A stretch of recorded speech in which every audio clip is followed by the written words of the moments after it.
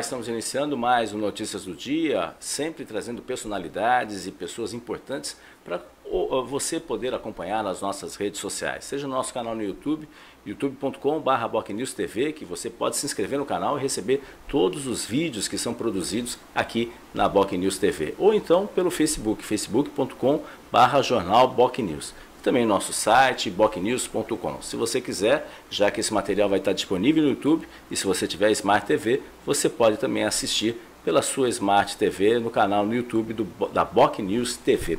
E como a gente sempre traz autoridades importantes, hoje o destaque é a secretária de Saúde de Araraquara, Terra da Laranja, Araraquara, no interior de São Paulo, a doutora Eliana Aparecida Mori Onaim.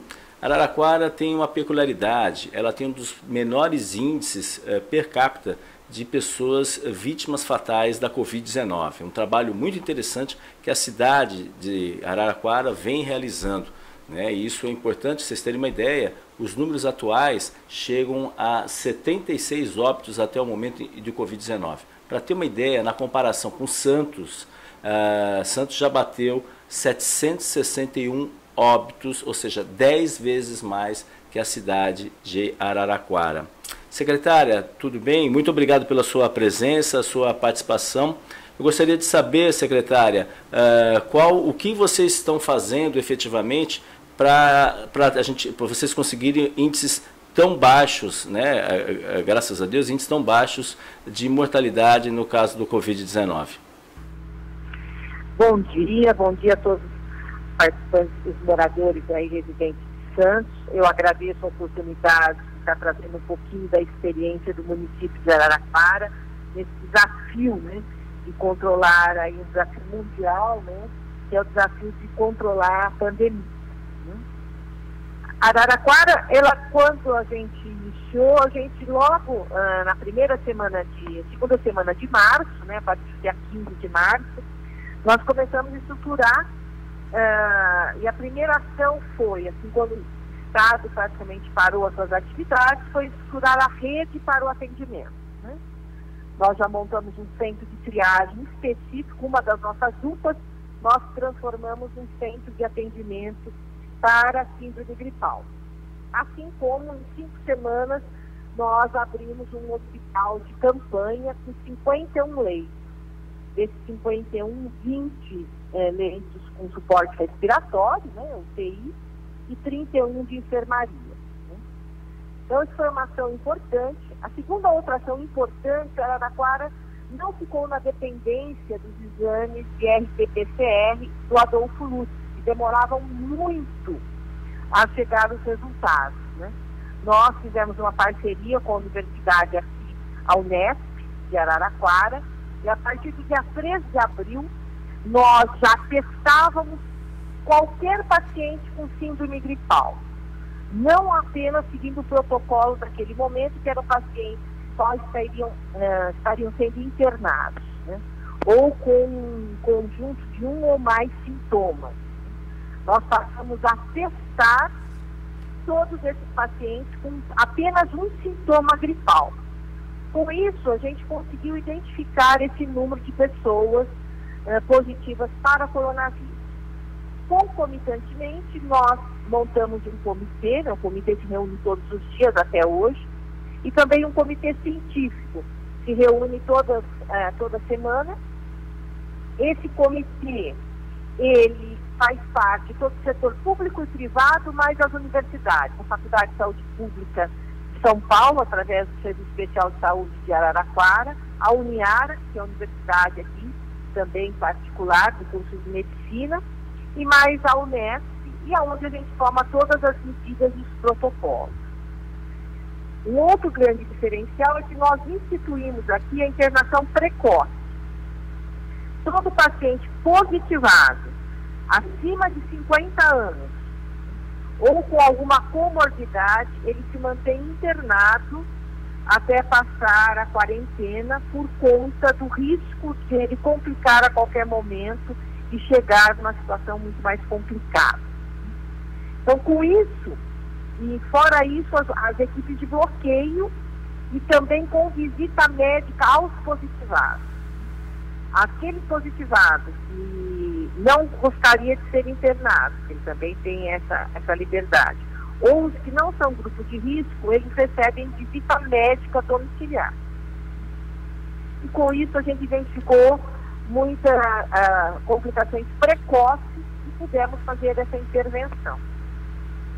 Montamos também, para poder finalizar, a, a equipe de visitas semanais às, aos asilos, né, as instituições de longa permanência, aos moradores de rua né, e também a todos os. Nós temos aqui, como vocês devem ter, alguns aglomerados, né? A gente em Araraquara não tem favela, nós já temos aqui um, uma favela até uh, vertical aqui num prédio e visitas nessas, onde essas grandes aglomerações. Além de visitas semanais nos centros de ressocialização, nós temos dois, e também penitenciária, que são grupos de risco. Né? Então, com isso, a gente ia monitorando todas as síndromes gripais, fazendo isolamento e fazendo testes. Né? Então, acho assim que dois grandes diferenciais. Um foi a estrutura de atendimento, o outro foi o exame precoce né, com a internação precoce. Então, Araraquara tem hoje, por 100 mil habitantes, né, em torno, nós temos aqui uma população de 236 mil habitantes, 22 óbitos a cada 100 mil. É a segunda índice aí do estado de São Paulo. De uma letalidade, né, que a letalidade é em cima dos no, casos positivados. Então, hoje nós temos 6.415 né, casos positivos em Araraquara e 76 óbitos. Né. A letalidade é uma das mais baixas, né, é, acho que do Brasil, que é 1,1.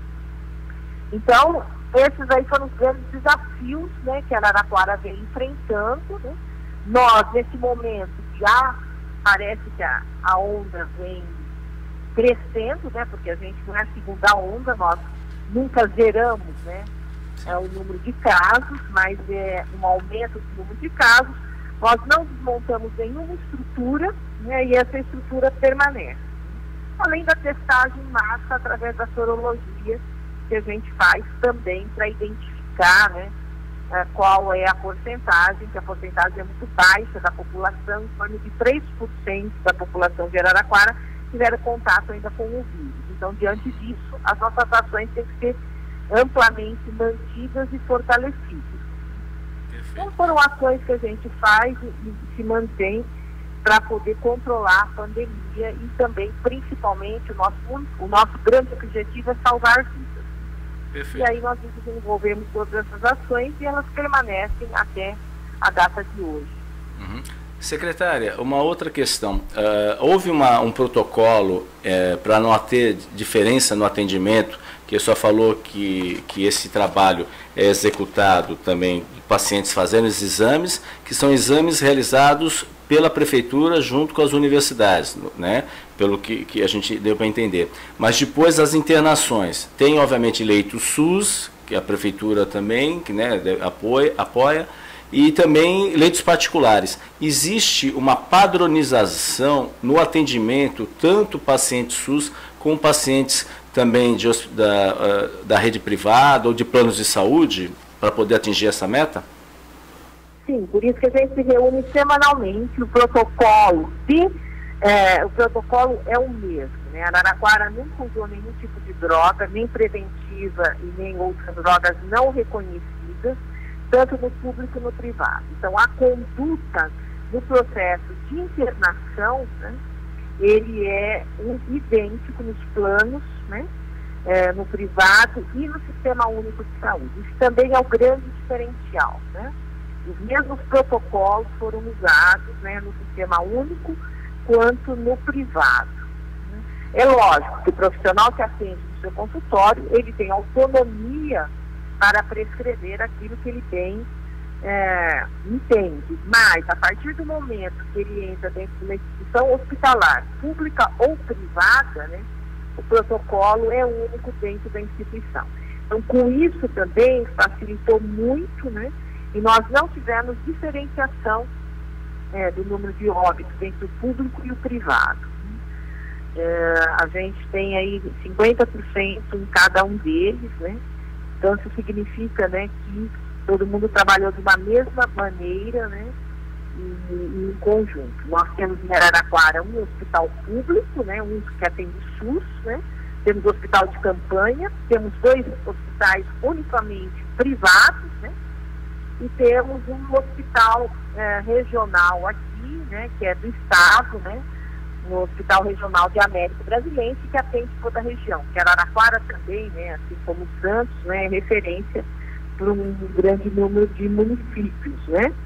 E a padronização foi a única entre isso. Isso também foi um grande desafio, né? Mas extremamente fundamental para a gente poder eh, não deixar o protocolo, né? Inclusive o protocolo de internação é, é o mesmo, né? Uhum. Paciente que é de risco, também é internado no privado, né, preventivamente. A gente conseguiu fazer essa padronização. Isso também foi uma grande vitória do município, né? E essa estrutura que é de encontro semanal de todas as estruturas públicas e privadas e mais as universidades acontece semanalmente para discutir as ações. As ações em conjunto. Isso é muito importante. Que é um desafio, né, secretária? Porque, infelizmente, Uh, aí entra a questão uh, muitas vezes financeira. Né? Os planos de saúde muitas vezes tentam empurrar com a barriga uh, a possibilidade do paciente ser internado. Né? A gente percebe isso claramente, inclusive aqui em Santos. Né? E pelo jeito vocês aí conseguiram convencer os planos dos hospitais para ter essa celeridade aí, em casos especialmente de pessoas que, do grupo de risco. Né? Isso diminui, obviamente, essa taxa de mortalidade. É, com certeza. Né? E também oferecemos em parceria, se eles quisessem internar no hospital de campanha, né, dos municípios, preventivamente também, caso eles não tivessem vaga. Né? E, então a gente trabalhou muito, muito de uma forma única. Por exemplo, os testes, né? É, ah, só coleta teste depois de ter é, um conjunto de três, quatro sintomas, né? Nós conseguimos também que os planos de saúde, né, uhum. uh, fizessem do mesmo jeito nosso, né? Inclusive oferecemos para eles, né, a nossa parceria com a universidade também, né?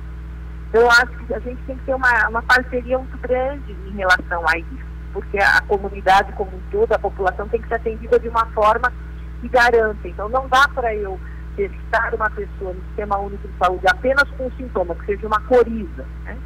que a gente sabe que isso pode ser né, é, uma, uma, um dos sintomas iniciais, né, e ficar esperando aparecer mais dois ou três. Né? Então a gente conseguiu também isso. Né? E, então a testagem também é algo fundamental, né? Você não ter limite de testes, né, restrições de testes mesmo na iniciativa privada ou poder público, nesses testes. Com o privado. Esses testes, tanto na iniciativa privada como no poder público, né, secretária? Sim, é muito importante uhum. isso, né? Que aqui é cobrado, por exemplo, aqui Aqui é cobrado, né? O cidadão tem que, mesmo no plano de saúde privado, eh, conforme até decisão da ANS, ela tem que pagar e às vezes não tem condições de pagar, além de já pagar a mensalidade. Né? Então, então, aí no caso de Araraquara, não. Todo mundo tem, tem esse direito, aí, se quiser, obviamente, para fazer esses testes. Sim, porque a gente fez essa parceria com Perfeito. eles. Olha, não, não tem, a pessoa tem que pagar, não. Vai para o nosso sistema, a gente faz. Né? Esse não é o momento de separar o público do privado. Né? É o Perfeito. momento de atender a população. E o SUS ele é universal. Então, com isso, né, a gente conseguiu realmente que todo mundo seja testado mais precocemente. Uhum. Isso é extremamente importante. Né? Uhum. E até para o controle da transmissão, para transmitir a outras pessoas, né, pelo isolamento, quanto de diagnóstico precoce para você fazer alguma intervenção, principalmente pacientes de risco. Né? Então, eu acho que isso é fundamental. Né? Se você for começar a mensurar recursos financeiros e separar o público do privado, né, é muito complicada essa situação. Né? É um momento de pandemia, é um momento de união de esforços de todos, né, para poder conter e salvar vidas. Né? Então, esse é o grande desafio. Uma das, uma das alegações, aí é claro, as características geográficas de Araraquara diferem, por exemplo, aqui de Santos, uh, que aqui você tem uma verticalização muito elevada, diferente, por exemplo, de Araraquara. Isso contribui também, eh, e além da população eh, idosa, né, quanto que representa mais ou menos a população idosa, ou seja, a população mais vulnerável aí em Araraquara? Nós temos uma das taxas mais altas de população idosa também aqui. Nós temos em torno de 20% do total da nossa população tem acima ou igual a 60 anos. Né? Uhum. Nós já também temos isso, mas uma condição diferente, como você disse aí, da verticalização, né? Você uhum. tem um grande número, né? Populacional e concentrado, né? Numa área né, geográfica é, menor, com mais densidade populacional, né? Então, por conta disso, né? É, nesses espaços é que a gente criou essas equipes, né? Que vão nesses locais também, né? Fazer essa busca ativa. É extremamente importante você fazer a busca ativa também. Né? Então, com programações onde a gente tem principalmente maior vulnerabilidade social, né? Uh, e é, esse é o grande desafio. Mas a gente tem uma taxa de acima de idoso também considerável, né? O uhum. Estado tem em torno de 17% da população acima de 60 ou 60 anos e a gente tem aqui em torno de 20%. Acho que Santos deve ultrapassar isso, vai ser uma característica, né? de uma cidade praiana, mais tranquila, sim, que a população idosa, podendo, ela vai né, é, procurar é, se fixar né, numa cidade como a, caracter, a, a característica de Santos. Né. Também esse também é um grande desafio né, e, e em relação ao controle da pandemia. A, a senhora, só para a gente, como eu coloquei no início, Uh, o que, que a senhora analisa? Eu sei que é mais complicado, como, como essa diferença né, em termos de taxa de mortalidade. Enquanto Araraquara, claro, uma cidade menor, mas a gente quando nivela por 100 mil habitantes, isso fica mais claro essa comparação. Que nem só comentou, tem 22 óbitos por 100 mil habitantes e Santos já passou de 170 óbitos por 100 mil habitantes como exemplo. O que, que a senhora, como, como pesquisadora também, secretária de saúde, o que, que a senhora uh, uh, uh, imagina o que pode, numa cidade como, como a nossa, que pode eh, ser copiado aí da sua cidade e possa ser estendido para essas cidades, não só Santos, mas outras cidades, São José do Rio Preto também tem uma taxa elevada, Ribeirão Preto, que é próximo daí também de Araraquara. Enfim, o que, que você, a senhora sugere, se, uh, se for possível, obviamente, para que seja feito para pelo menos, esses números não vão cair, obviamente, mas diminuir esse ritmo de, de, de mortes? Primeira coisa é garantir testagem, testagem de PCR, não é o teste rápido, tá? Certo? Acho que isso é fundamental e no início dos sintomas de um único sintoma. Acho que esse foi o grande diferencial de Araraquara. Aí tá? com resultado rápido. No máximo, no máximo 48 horas. O nosso aqui tem que sair em 24 horas. Acho que esse é o grande diferencial. Não somar a conjuntura de uh, de sintomas, entendeu? Qualquer sintoma gripal, ele se, é lógico, tem aí o PCR, ele dá a partir do terceiro dia. Mas você fazer essa testagem com um resultado rápido, em toda a população. E a padronização entre o público e o privado, com a garantia de assistência. Isso, esses dois grandes fatores, tá? São fundamentais para você conter né, a mortalidade com isso, você identificando precocemente, você pode tomar as ações precocemente. Eu acho que esse é o grande diferencial. Porque eu sei que Santos tem uma testagem muito grande. Eu acompanhei, porque a gente acompanha. A gente fez muito teste rápido. Né?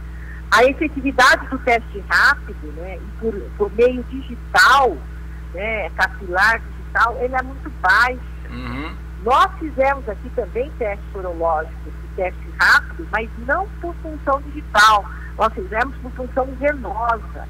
Né? E aí, sempre sugamos o sangue, porque aí sobe 65% para 94%. Mas isso quando a gente faz inquérito sorológico. Agora, para diagnóstico, você tem que utilizar, lógico, o PCR, né? Ou o uhum. antígeno. A gente também tem antígeno aqui.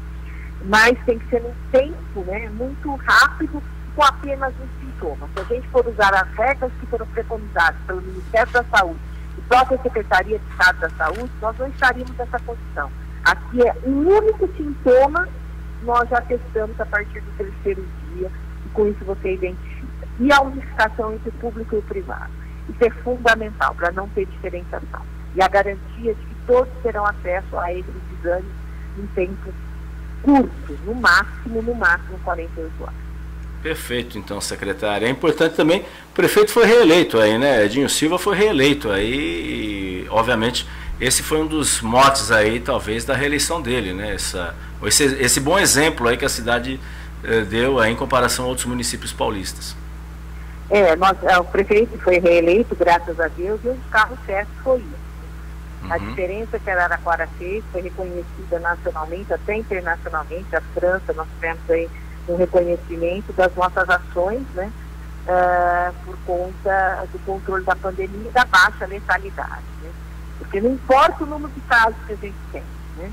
mas o que a gente quer é salvar vidas. E para isso a gente tem que ter uma estrutura que garanta realmente que a, a população seja atendida com uma eficiência, uma eficácia muito grande, né? para a gente atingir o nosso objetivo. Então a gente pretende aí continuar o nosso trabalho, assim desejou a população de Araraquara, e assim vamos fazer para manter a, a, qualidade da assistência, né? não só na, na, pandemia, né? mas na saúde, que é um grande desafio no Brasil de fazer saúde. Né? Uhum. E esse é o grande desafio que todos é, os gestores enfrentam. Ok.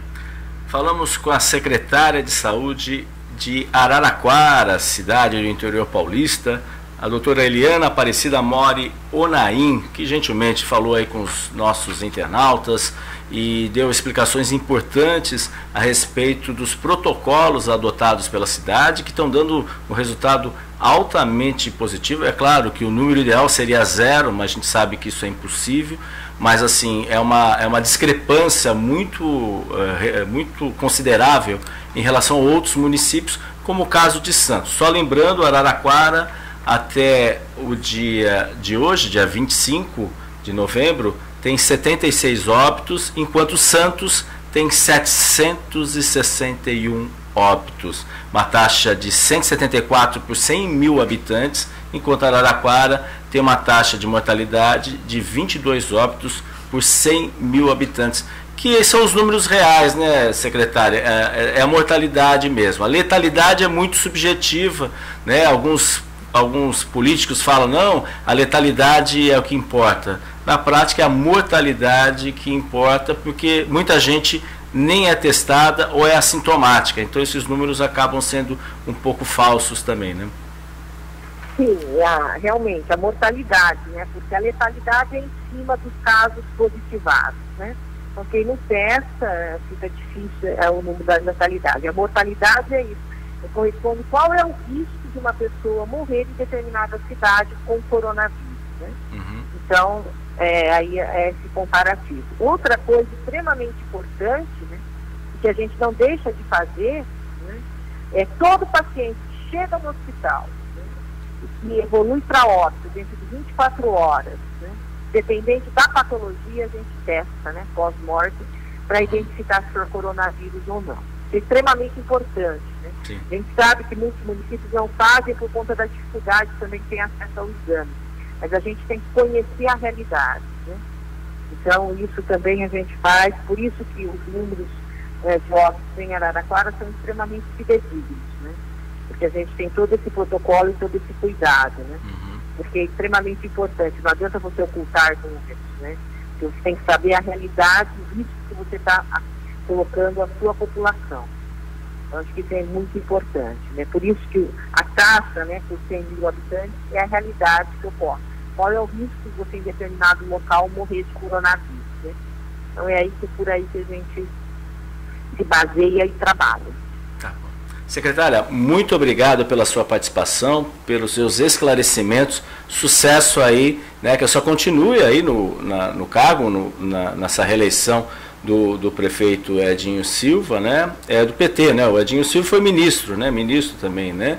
É, então, sucesso aí na sua empreitada aí nessa, nesse segundo mandato, caso a senhora, obviamente, eh, seja mantida, mas pelo belo trabalho aí, tudo indica que a senhora será mantida. Muito obrigado. Eu que agradeço, agradeço a disponibilidade de vocês, a parceria também por trazer essa experiência, né? E a gente continua aqui, defendendo a vida e defendendo o SUS.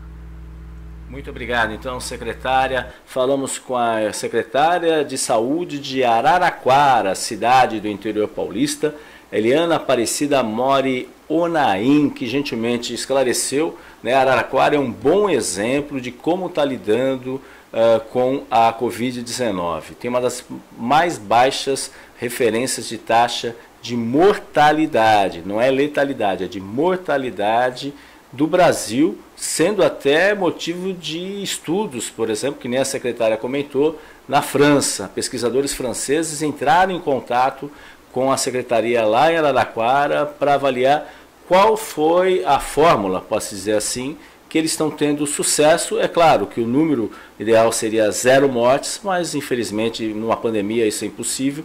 Mas eles conseguem ter números bem interessantes em comparação a outros municípios, por exemplo, como Santos. Né? A gente volta a repetir, enquanto Araraquara, no dia 25 de novembro, tem 76 óbitos pela Covid-19, Santos tem 10 vezes mais, 761 óbitos. Isso não tem a ver com a população, porque quando você faz a análise por 100 mil habitantes, a taxa de Santos, e tem crescido pelo aumento do número de mortes, já passou de 170 por 100 mil habitantes. Araraquara está em 22 por 100 mil habitantes. E aí você compara e fica mais claro isso, esse cenário para você, internauta. Sinal que aqui em Santos tem alguma coisa errada em relação a esses protocolos. A secretária foi muito clara. A união entre poder público, planos de saúde, universidades se unirem, fazem reuniões semanais